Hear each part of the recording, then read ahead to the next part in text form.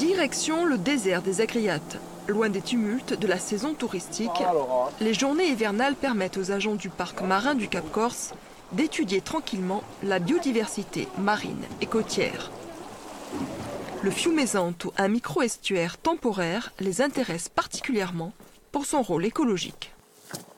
Il y a la fonction d'habitat qui est très importante et la fonction de nourricerie et de nurserie.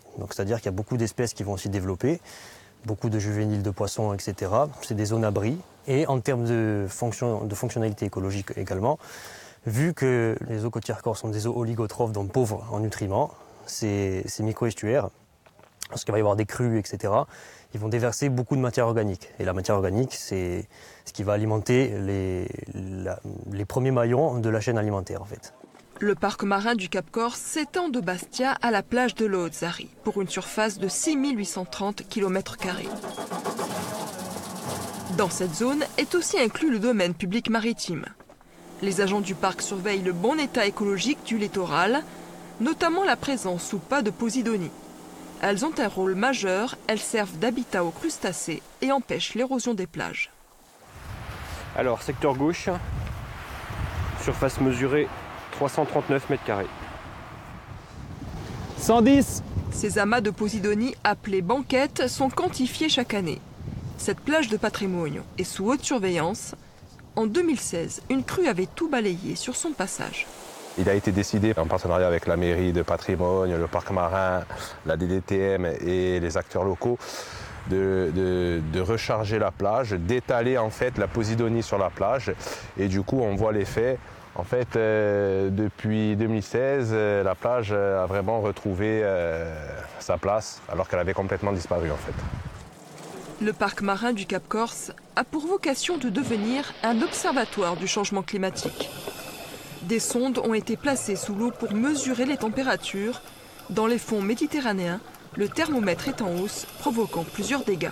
On voit déjà les premières évolutions euh, sur la posidonie, euh, sur, euh, sur les poissons, euh, qui peuvent être attaqués par euh, des virus, euh, des éléments pathogènes. On a retrouvé pas, très loin de Saint-Florent un mérou qui avait été touché, euh, qui était euh, affaibli à la surface.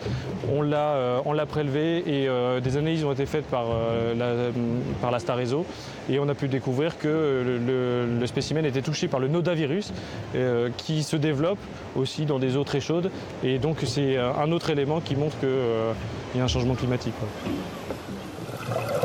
Les grandes nacres sont en sursis, des dizaines d'entre elles sont mortes, comme ici à Villefranche-sur-Mer. Le coupable, c'est un parasite qui pullule dans les eaux chaudes. Le Cap Corse ne fait pas exception à la règle. Les agents du parc ont également répertorié la mort de plusieurs spécimens. Un autre danger menace la faune sous-marine, c'est la pollution. La collision entre deux navires à 28 km au nord-ouest du Cap Corse a marqué tous les esprits. Aujourd'hui, on sait que le porte-conteneur chypriote qui a été percuté mouillé dans une zone d'intérêt faunistique majeur. Ce qui est apparu, c'est qu'on s'est rendu compte qu'il y avait une zone qui servait donc d'ancrage aux au, au- aux gros bateaux de, de commerce. Et en fait, en dessous, euh, à 200 mètres plus bas, euh, et des fois 100 mètres, il y a ce qu'on appelle des atolls de, de coralligènes. Ce sont des formations uniques en Méditerranée qui ont été découvertes lors d'une expédition euh, euh, par l'Université de Corse, entre autres. Et donc, ces formations sont très, très imp- importantes parce que d'abord, elles ne sont pas connues et euh, elles sont euh, riches. euh, donc, il y a une diversité de- euh, donc d'espèces qui est importante en, en Méditerranée. Donc, il va falloir les, les étudier. Et comme ce mouillage était très proche euh, de ces euh, habitats, il faut absolument qu'on trouve le moyen de, régler le, mouillage dans, cette zone-là. L'Italie et le parc marin du Cap Corse ont déposé un dossier pour protéger cette zone en la classant Natura 2000.